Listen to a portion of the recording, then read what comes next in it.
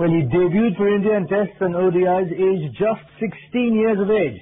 Indeed, beg your pardon. Indeed, many of uh, those who saw him as a young teenager marked him out as one of the future greats of Indian cricket. And fortunately for that, fortunately for India, that is, that prediction proved spot on. This is the Sahitya Niwas building compound where Sachin Tendulkar first played cricket.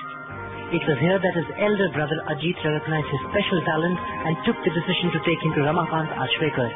The rest, of course, is history, but the big brother still plays occasional coach.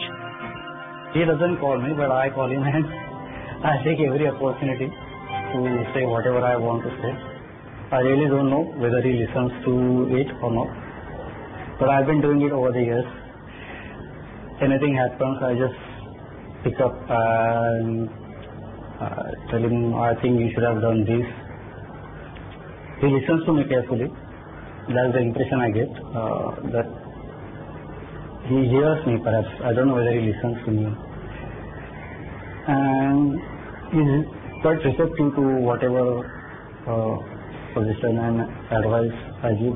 Tendulkar first shot into the limelight when he and Kambli put on a record stand of 664 runs in the Harris Shield School Tournament. Kambli was on 349 and Sachin was on 326. India's boy wonder then showed his potential in first-class cricket as well, making hundreds in debut in the Ranji and the Irani Trophy. Cricketing-wise, the rest of course is history. He was also the first Indian to play for county side Yorkshire, and his first multi-million dollar deal with Worldtel made sure that he was truly the first sporting superstar of the country.